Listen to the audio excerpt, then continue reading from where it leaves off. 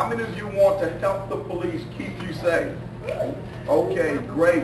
Well, well, we want you to listen for a few minutes so we can tell you what we need you and your parents now. Keeping you safe is the number one priority of the police department and of every parent. Hear everybody say 25. 25 minutes talk. That's what that's what we want your parents to do. Talk to you for 25 minutes. Some people may pretend to be your friends, but they're really not. And you have to make the right decision. And you need to know who to go to in case someone uh, asks you to get in a car or to go somewhere where you know you shouldn't go.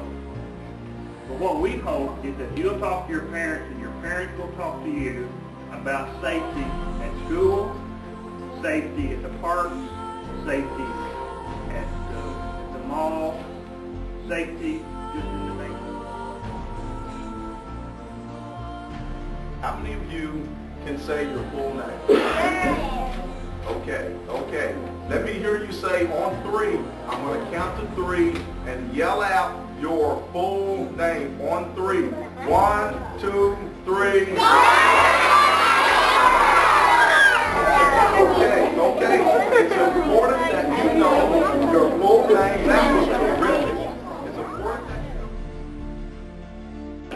You have to know the full name of the person you live with. You live with your dad or mom or your guardian, your aunt, your uncle, your grandmother or grandparents, whoever you live with, you need to know their full name, okay? You understand that, okay? Will, will you guys do that for me? Okay, okay, let's try. The person you live with, your guardian, let me hear you say their full name on three. One, two, three. Oh, that was awesome. That was awesome. That was great. Understand what an emergency is and what number to call when there is an emergency.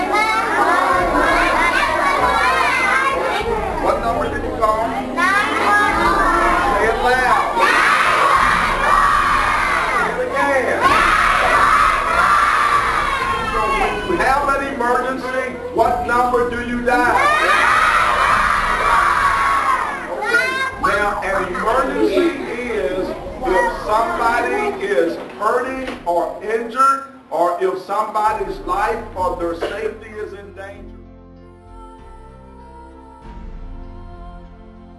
Now, let's talk a little bit about the internet. How many of you have been on the internet before?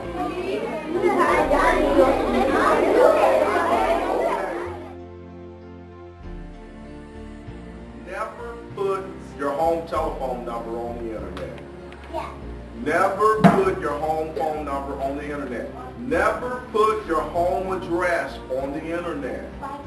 Never put your home phone number. Never tell anybody your home address. Do not send any personal information about yourselves or about your family to anybody over the internet. Don't tell, don't tell them how old you are. Don't tell them where you live. Don't give them your phone number. Don't send any pictures of yourself to anybody over the internet. Can you remember all of those things? Okay.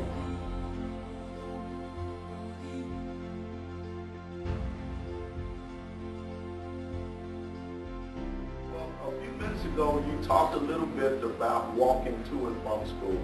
Why, why don't you give them maybe a few safety pointers on walking to and from school, and maybe even on the bus stop, uh, preparing to come to school?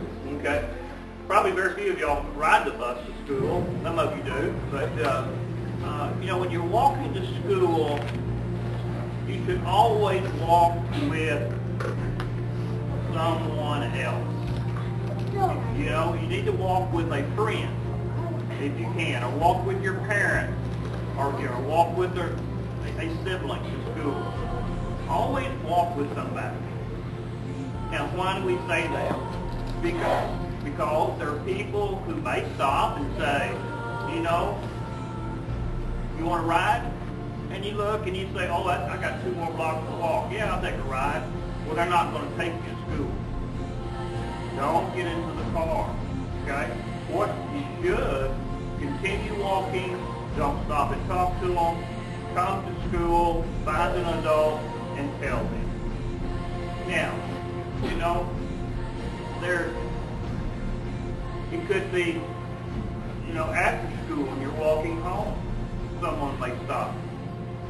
Don't walk on home. Get home. Don't get into a car with somebody you do not know. Somebody may come up and say, your mother is sick, you need to go with me. And you don't know that person. Don't get into the car.